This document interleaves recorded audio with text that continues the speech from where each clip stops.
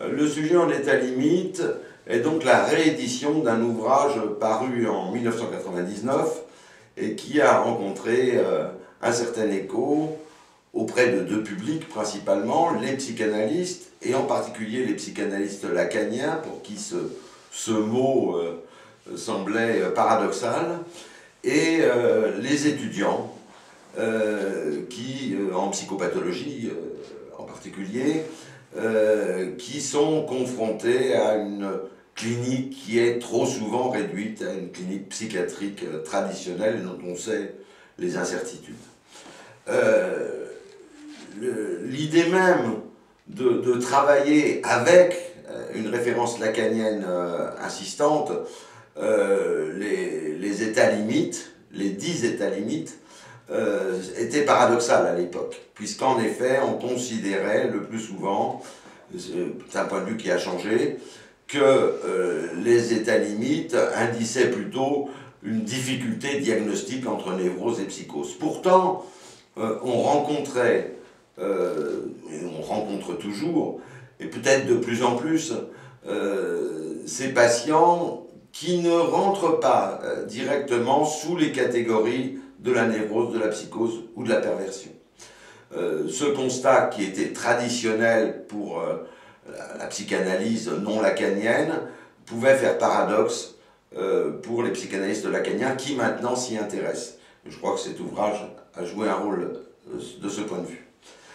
Ce qui m'a conduit à m'y intéresser ce sont deux éléments. D'une part, le fait que dans la clinique, on rencontre ces patients, euh, voire dans le cours d'une cure, et d'autre part, ma clinique spécifique un peu approfondie avec les adolescents. Euh, en effet, je considère que l'adolescence en tant que telle constitue d'une certaine façon un état limite ordinaire, celui que traverse n'importe quel sujet avec des incertitudes quant à sa position dans le sexuel et sa position dans le social. Euh, c'est pour cela d'ailleurs que je me suis appuyé sur les derniers travaux de Lacan, ceux qui portent sur le symptôme, euh, c'est-à-dire l'idée d'une quatrième euh, dimension, en dehors de celle du réel, du symbolique et de l'imaginaire, qui viendrait nouer les défauts de ces trois premières consistances. Euh, effectivement, je pense que nous, le symptôme, c'est ce qui est le plus commun. Nous construisons tous un symptôme.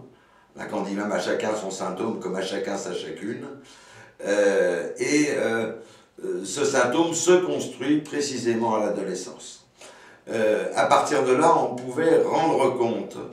euh, en particulier de ce qui avait déjà été repéré par un certain nombre de psychanalystes, je pense en particulier à André Green, euh, la spécificité de, de, ces états limites, et j'ai soumis l'hypothèse que le cas Joyce, qui chez Lacan légitime son travail sur son séminaire sur le, symptôme, constituait une nouvelle, euh, un nouveau cas princeps après celui de l'homme loup, euh, sur lequel Freud et ses successeurs ont hésité quant au diagnostic. Euh, je considère donc